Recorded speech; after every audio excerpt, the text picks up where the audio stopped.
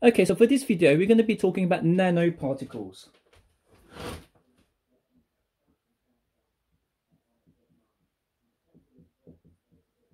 Now, nanoparticles are between 100 nanometers and 1 nanometer. If you remember, nanometers is 10 to the minus 9 meters. Okay, so 10 to the minus 9 meters. And what's 100 times 10 to the minus 9? You get 10 to the minus 7. So it's between 100 nanometers and 1 nanometer. And it is between 10 to the minus 7 meters and 10 to the minus 9 meters. Now let's find some comparisons. So this is comparing. Okay, so if we're comparing, you've got a helium. So helium would be 0.062 nanometers. That's the diameter. For the methane molecule, so for methane, it will be about 0.41 nanometers.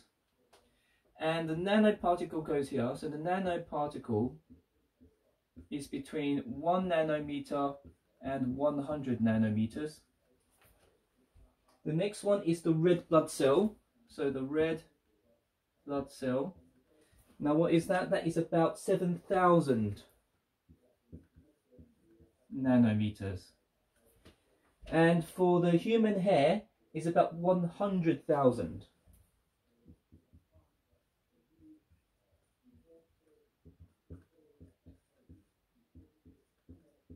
So for the human hair, it is about 100,000 nanometers.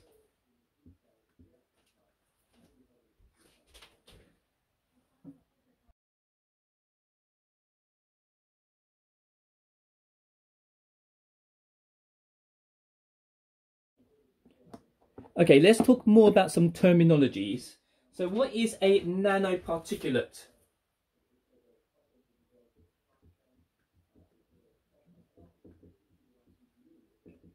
A nanoparticulate is a substance made of nanoparticles.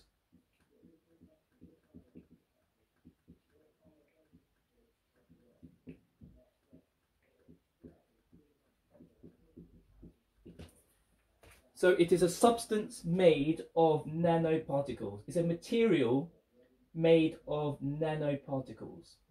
However, if you've got grains, lumps and sheets, so if you have grains, lumps and sheets, these are bulk.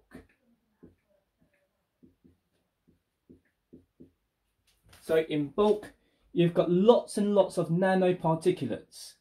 If you have lots of nanoparticulates, it could be lumps. If you have lots of nanoparticulates, that could be sheets. So when we say bulk, we mean a large collection of nanoparticulates.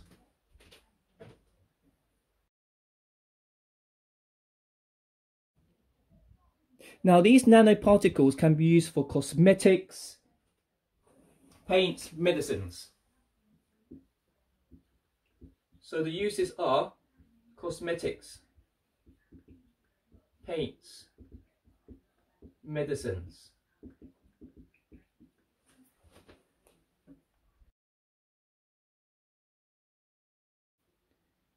And in particular, used in sunscreens.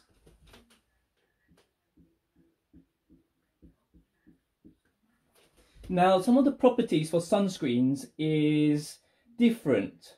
So for example, if you have a nanoparticulate, it will be transparent. So nanoparticulate for sunscreen, it will be transparent. Okay, for sunscreens, if it was in bulk, it will be white. However, there is a disadvantage. So the advantage is that when you apply to the sunscreen, it is transparent.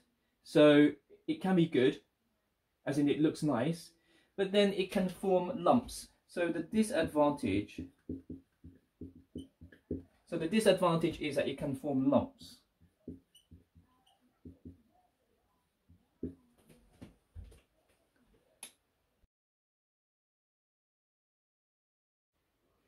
What are the other disadvantages of nanoparticles? So the disadvantages of nanoparticles is that here they are can be small. So here they are small. So the nanoparticles are very small. They're so tiny that they can be breathed in. So because they're so small, they can be breathed in. So they can be breathed in. They can be absorbed by the skin absorbed by skin okay and it can pass into cells. So pass into cells.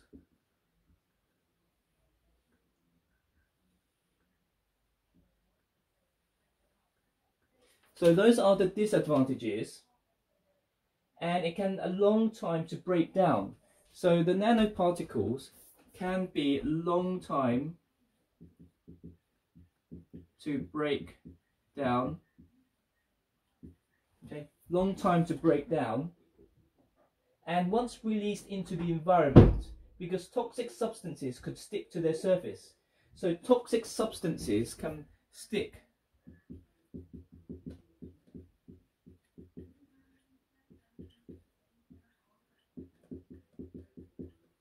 toxic substances can stick to those nanoparticles. So some scientists are concerned it can be harmful to health. So it could be harmful to health.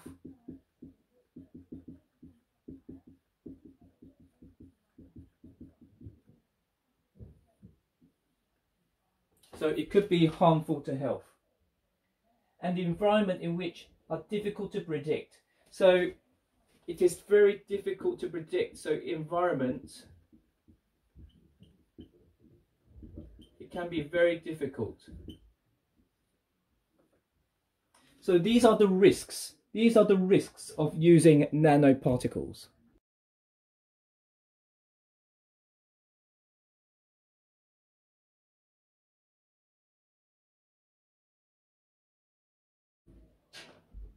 Okay, we're going to be talking about the surface area to volume ratio. Right, so let's draw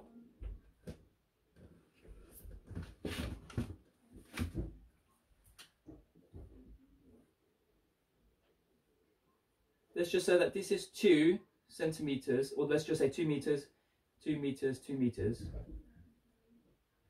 And the same